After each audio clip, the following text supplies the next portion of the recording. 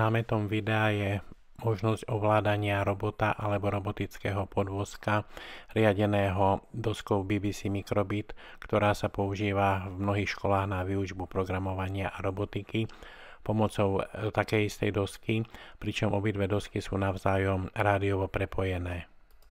Len pripomeniem, že v predchádzajúcej časti sme ukázali stavbu robotického podvozku zo stavebnice. Cena je v rozpetí od 8 do 20 eur a riadenie pomocou vhodnej dosky. V tomto e, videu použijeme dosku Motorbit, ktorá je dostupná na e-shopoch a tiež je aj cenovo veľmi priaznivá.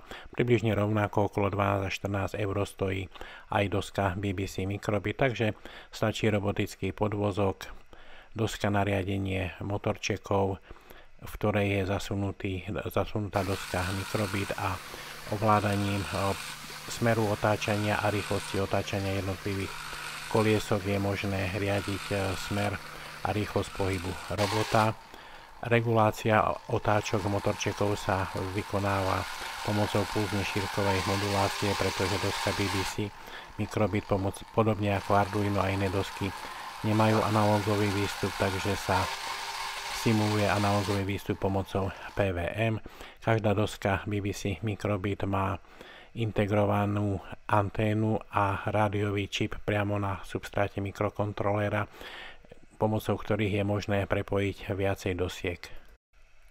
Najskôr si napíšeme eh, kód pre ovládaciu dosku. Eh, taký prvý jednoduchší kód, nie príliš v praxi použiteľný, je ovládanie pomocou eh, tlačidiel AB tým sa riadi smer, s súčasným tlačením sa robot uvedie do pohybu a zatrasením dosky, ktorú, ktoré signalizuje akcelerometer, sa robot zastaví.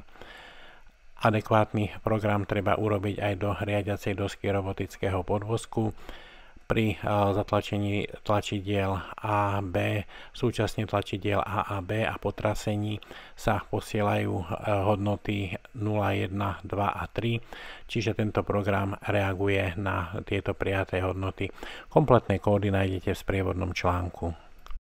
Funguje to, ale je to vlastne len také eh, dvojpovelové alebo trojpovelové ovládanie, čiže ovládanie pohybu nie je príliš jemné preto napíšeme nový ovládací program, ktorý bude v doske, ktorú použijeme ako ovládač, využívať e, akcelerometer a meranie zrýchlenia náklonu v jednotlivých osiach, takže nakláňaním dosky dopredu, dozadu a do strán budete môcť e, oveľa jemnejšie a presnejšie ovládať robotický podvozok.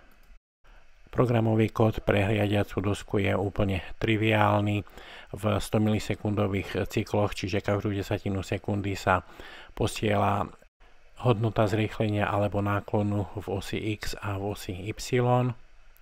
Najskôr ukážem jednoduchý cvičný program pre ovládaciu dosku robotického podvozku, ktorá bude reagovať len na naklonenie do stran, čiže bude eh, riadiť pohyb eh, doprava a doľava zmenou rýchlosti otáčania jednotlivých kolies.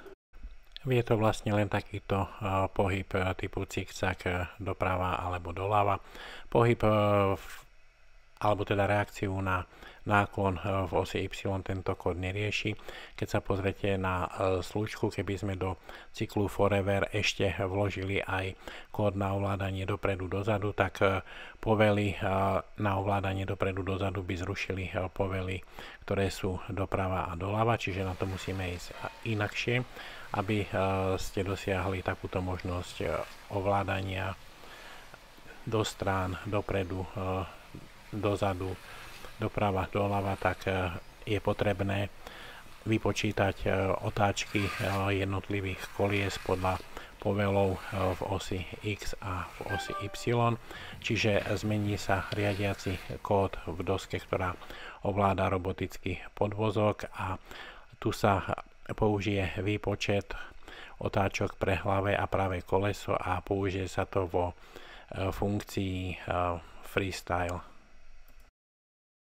Takže už aj na tomto jednoduchom príklade vidíte, prečo som na riadenie e, dosky robota nepoužil Arduino, ale moderné a na školách rozšírené dosky BBC Microbit, pretože tieto dosky vedia medzi sebou nadviazať rádiové spojenie. Prípadne môžete preprogramovať dosku tak, že bude cez Bluetooth komunikovať s mobilným telefónom a ovládať robota. V budúcom pokračovaní ukážeme inú riadiacu dosku a iné roboty s mikrobitom.